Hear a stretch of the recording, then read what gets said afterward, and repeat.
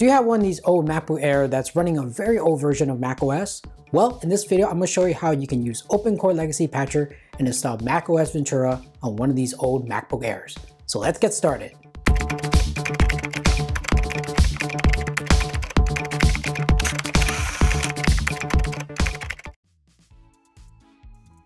For my testing, I am using a 2012 MacBook Air. This MacBook Air has a 2 GHz dual core i7, 8 gigs of RAM, 512 gigabyte SSD, and also an Intel 4000 HD integrated graphics. So the first thing you're going to need is a USB flash drive with at least 16 gigabytes of capacity. You're also going to need your Mac model identifier, the OpenCore Legacy Patcher, and don't forget to back up your data. Now there are two ways you can make the patcher. One, you could either use the unsupported MacBook Air and make the OpenCore patcher on that machine, or you can use a different Mac to make the patcher as well. In my testing, I'm using a different Mac to make the patcher for my unsupported MacBook Air.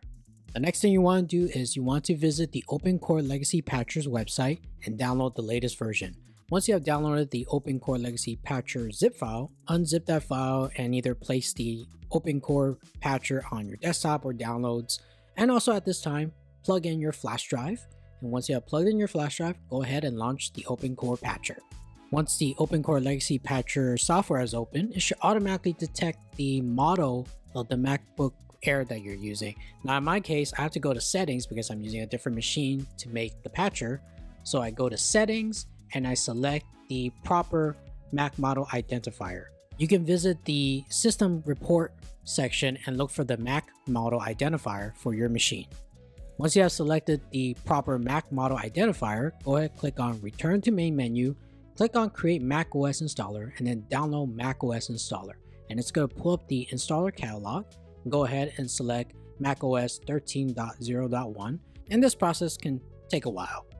Once the installer has been placed to your applications folder, go ahead and click on Flash Installer. Click on Install macOS Ventura and then select your USB flash drive. It's going to format the flash drive and the process will take a while, so be patient and we'll wait until it's finished. Once that process is finished, you're going to see this window right here and go ahead and click on Install OpenCore to Disk. Next thing you want to select is Install to Disk. Make sure to choose the USB flash drive. So go ahead, click on your flash drive, and then click on the EFI partition of the flash drive. And now it's going to install the OpenCore into that partition. And once you're done, click on OK, and then click on Return to Main Menu, close out the OpenCore Legacy Patcher website, eject the flash drive from the computer that you're using to make the patcher, and now you're ready to use it on the unsupported MacBook Air. So here's my 2012 MacBook Air and I've already plugged in the flash drive. So what I'm gonna do is I'm gonna restart. I'm gonna click on restart and hold down the option key. And we're gonna wait till we see our EFI boot logo. So we click on the EFI boot logo or select it and then select the install macOS Ventura. And we're gonna wait until it boot into the installer. Next up, we're going to select the preferred language. I'm going to select English and I'm just going to click on install macOS Ventura then click on continue and then click on agree. And I'm just going to click on Macintosh HD. That's my internal drive from this MacBook Air. And I'm just going to do an upgrade. I'm not going to do a clean install. And this process is going to take a while. So be a little patient, wait a while, take a break and come back and check on it.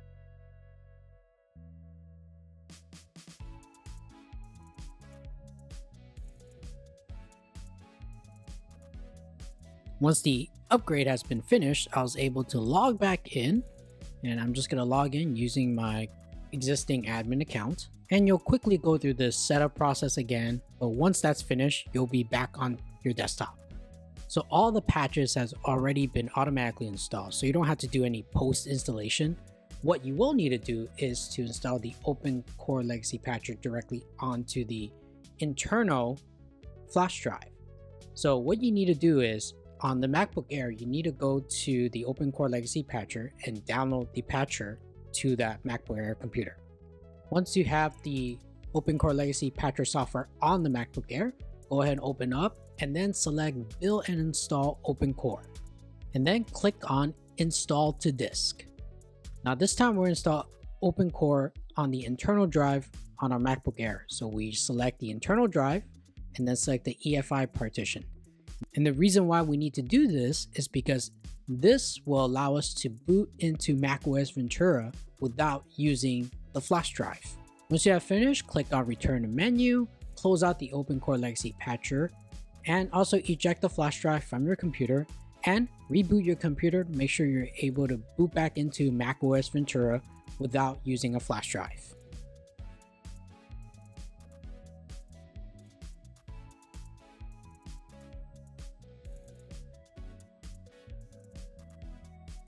So my experience with macOS Ventura on this MacBook Air has been all right. Um, all the USB ports work, the SD card slot works, the Thunderbolt port works, and I was also able to use Wi-Fi, Bluetooth, and also to use AirDrop as well. Um, I'm not seeing any kind of you know, weird graphics issue, but I know there are some. I just have not encountered them yet, and we'll talk more about that later on in this video. But overall, my experience has been positive. I also wanted to test out if I could boot into my existing boot camp. Um, I have Windows 10 installed on that MacBook Air via boot camp. I, I want to see does it still work after I install macOS Ventura using OpenCore Legacy Patcher. And to my surprise, my Windows 10 bootcamp partition is still intact. I was able to log in and use it as well. One of the things you could do if you are experiencing issues after install macOS Ventura on a 2012 MacBook Air is to redo the post-install root patch. So go ahead, open up OpenCore Legacy Patcher, and then select post-install root patch, and then click on reinstall root patches. What that will do, it will just reinstall the, the patches that are meant for this MacBook Air. And don't forget to reboot the computer after you have reinstalled the patches. You'll also want to check out the OpenCore Legacy Patcher's GitHub page, specifically the Legacy Metal graphics support area. This is the section where they'll list all the issues that are ongoing with some of the graphics issues that you might experience with this particular machine or other machines as well. For example, they listed black screen on continuity camera and I can confirm that because I tried using continuity camera and it only showed a black screen. But that's how you install macOS Ventura on an unsupported MacBook Air. If you don't want to install macOS Ventura on an unsupported Mac, check out my video right here on how to install macOS Monterey on an old MacBook Pro.